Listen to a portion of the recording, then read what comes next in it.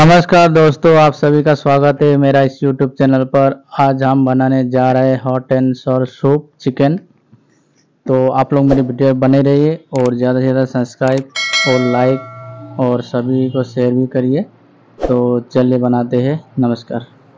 तो सबसे पहले हम लेंगे जिंजर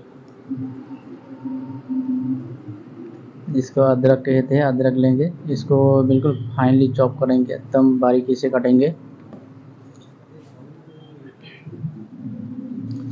अभी गार्लिक भी काट दिए। जिंजर गार्लिक का ये चॉपिंग हो चुका है तो अभी हम कटेंगे। गाजर को लेंगे पहले तो। और इसको भी बारीक बारीक से हम काट लेंगे अच्छी तरह से, सूप के लिए तैयार कर लेंगे। इस तरीके से कटिंग करेंगे। तो ये भी गाजर मेरा काट चुका है अभी। और ये मैंने बीस लिया है, बीस को भी काट लिया है। आप चाहे तो सब्ज़ी अपने हिसाब से भी डाल सकते हैं, लेकिन इसमें मैं ज़्यादा नहीं प्याज और गाजर और बीन्स ही डालूँगा और चिकन सूप है, इसलिए ज़्यादा मैं बेज नहीं डालूँगा, यूज़ नहीं करूँगा। तो मेरा चिकन आ चुका है, इसको मैं छोटे छोटे पीस में करके मिक्सर में डाल के थोड़ा सा पानी डाल के फिर इसको अच्छी तरह से पीस लूँगा। क्योंकि चिकन सूप है तो चिकन का फ्लेवर काफ़ी अच्छा आना चाहिए और चिकन कीमा करके भी डालेंगे सूप में। तो ये मेरा पीस के आ चुका है अभी।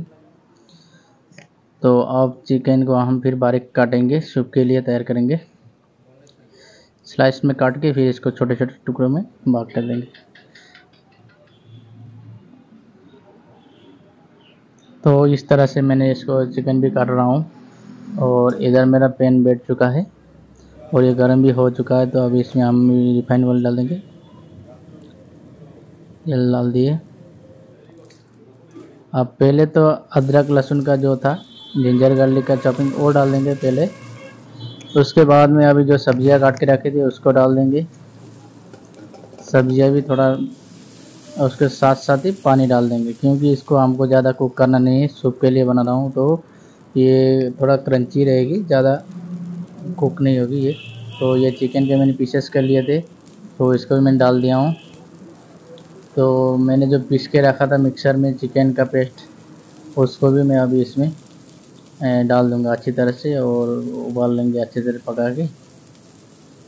ये देखिए, ये भी आ चुका है अभी, मेरा ये जो चिकन का एक पेस्ट बनाया था। तो इस तरह से इसको अच्छी तरह से डालेंगे, थोड़ा पानी कम हो गया, मैंने फिर थोड़ा सा पानी ऐड कर दिया।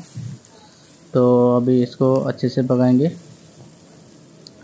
उबाल आने देंगे अच्छी तरह से।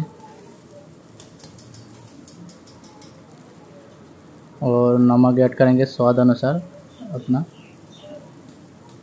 और ब्लैक पेपर ऐड करेंगे अपना स्वाद, अपने हिसाब से, कितने तीखा आपको पसंद है। लेकिन हॉट एंड सर सुबह तो थोड़ा तीखा ही माँगता है इसमें। ये सोया सॉस मैंने ऐड किया थोड़ा सा डार्क सोया सॉस है और ये वेनेगर थोड़ा सा ऐड किया हूँ। अभी अच्छी तरह से उबाल भी आ चुके हैं अच्छी तरह से पक भी चुका है। और इसमें अभी डालेंगे कॉर्नफ्लोर का घोल, जो मैंने घोल के रखा है कॉर्नफ्लोर का, उसको डाल देंगे। और देखेंगे कितना चाहिए मेरे को।